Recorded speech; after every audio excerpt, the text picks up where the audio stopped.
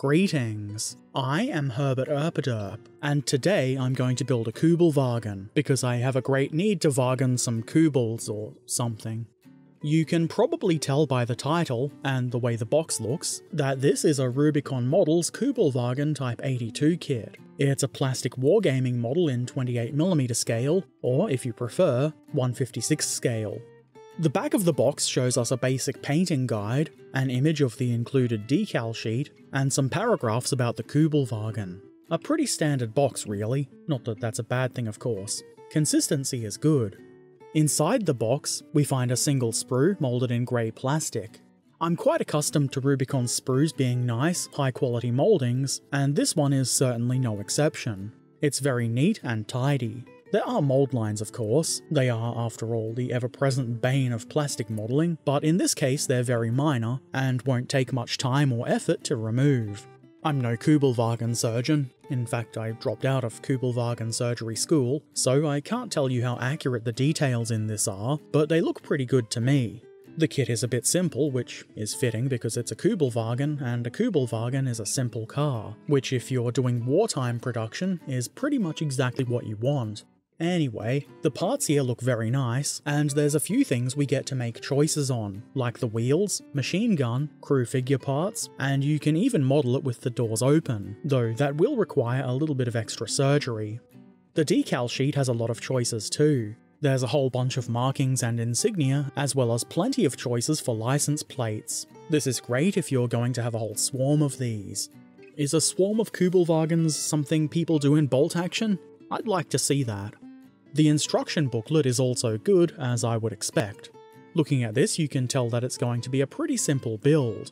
The instructions are well laid out and are easy to understand and follow. There are notations to point out where things should be installed first or last, and where you can make choices. The last page shows us how to do the open door conversion. So that's what's in the box. Let us now commence the gluing together of bits of plastic. I start with the base of the Kubelwagen, I guess you might call it.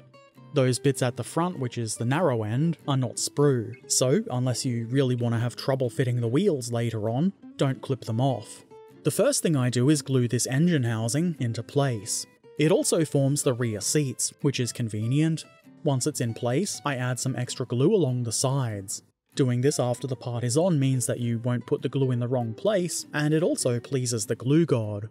Next, the sides of the Kubelwagen can be glued into place. There are guides moulded into the parts, and they more or less just fall into place. Not literally, but you know what I mean.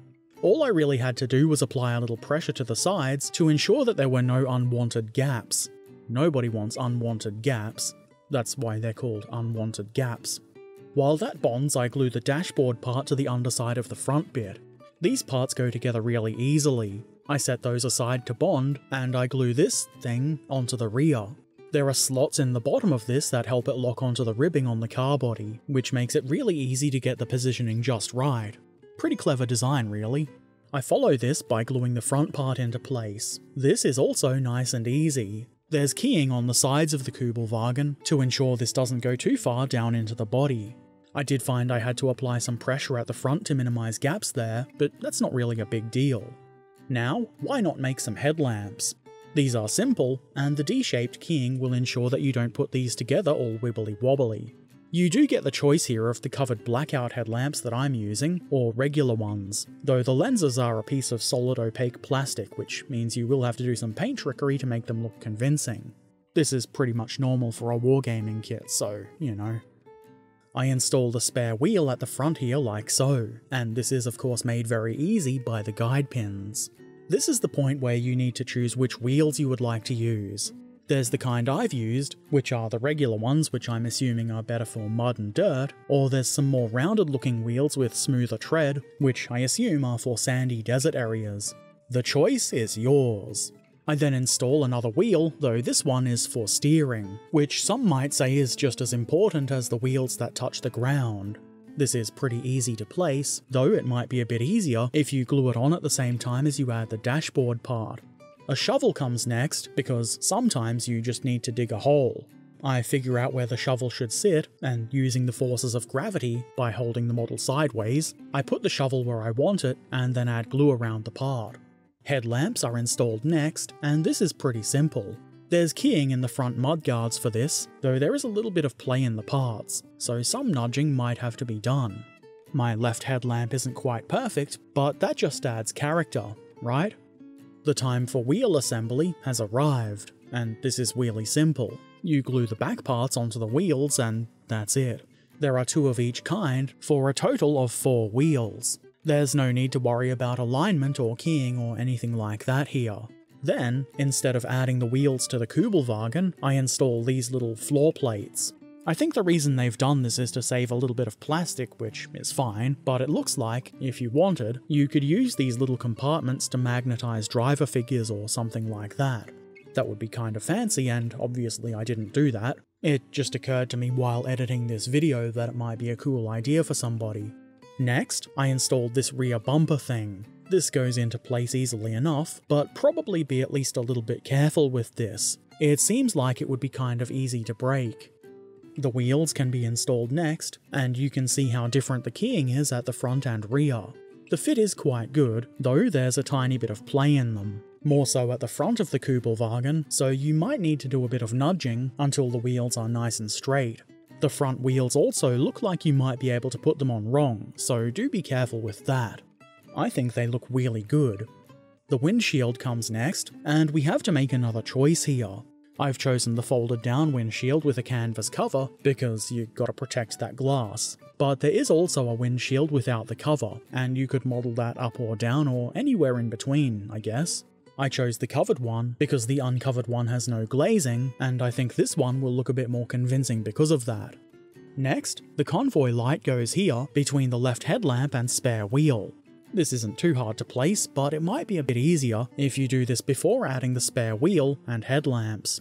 The canvas roof covering goes into place next, and this pretty much just drops right into place. It does look a bit gappy at the sides there, but I'm sure that's fine, and if it's not, it's probably pretty easy to fix. The instructions do mention that if you don't want this, you can cut the framey bits off and just not glue the canvas part into place. Some Kubelwagens did have that removed, so that might be a nice thing to do if you are going to build multiple of them to tell them apart. The gun mount comes next, and you can see that there's a small notch in the pole part, and that's where we glue this crossbar thing, I guess you might call it. I don't worry too much about getting the positioning of this right, because you can just put it into the vehicle and use that to get the final alignment. Pretty simple stuff. I assume that little compartment thing there is for holding ammo for the gun, or maybe, and more likely, boxes of sauerkraut. Now that we have a mounting for the gun, we need to make a choice of gun.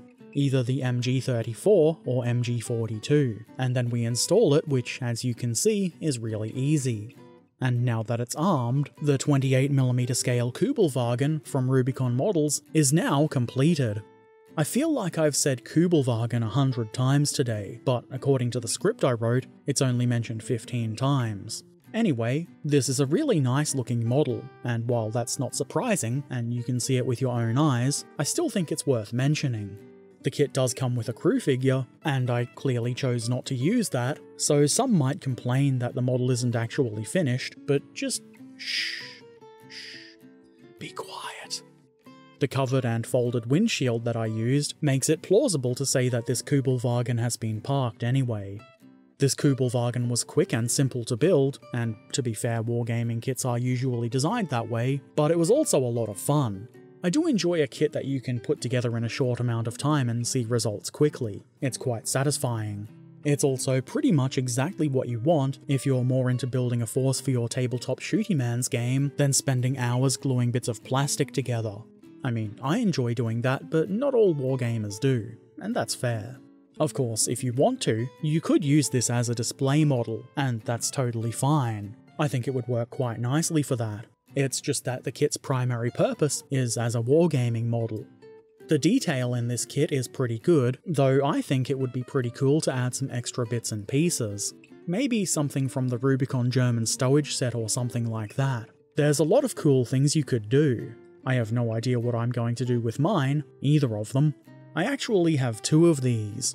I bought a second one because I forgot that I had the first one. This is because I'm a very smart and sensible person. Anyway, it gets a hearty thumbs up from me. If you've got any questions or comments, feel free to put those in the comment section below. If you've built one of these, or any other cool models and you would like to share, why not drop by our Discord community and show us some pictures? We'd love to see what you've done. If you'd like to watch me build kits like this live on stream, head on over to my Twitch channel, which is where I stream. The link is in the description below. And if you've not already done so, why not subscribe, follow, ring the bell, become a patron if you want to see my videos a bit early, or maybe just come say hi on Discord or Twitch next time I'm live. Links to all of my things are in the description below, and, as always, I shall return soon. So, until then, be excellent to each other, have a great day, and thanks for watching. Farewell.